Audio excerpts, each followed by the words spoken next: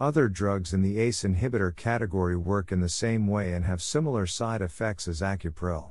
Examples of ACE inhibitors include 1. Altace, ramipril. 2. Lotensin, benazepril. 3. Vasotec, enalapril. 4. Zestril, lisinopril.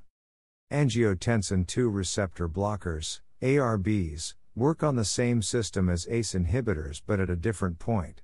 Examples of ARBs include 1. Avapro, irbesartan. 2. Benicar, olmesartan. 3. Cozaar, losartan. 4. Diovan, valsartan.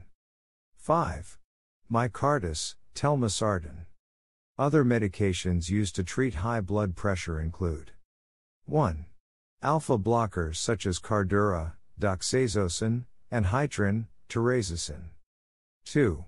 Alpha slash beta blockers such as Coreg, carvedilol. 3.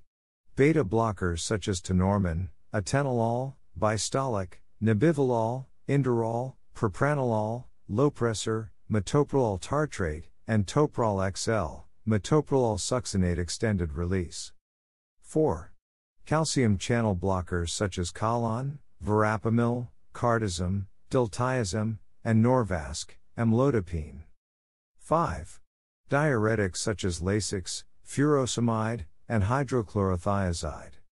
This list is a list of drugs also prescribed for high blood pressure.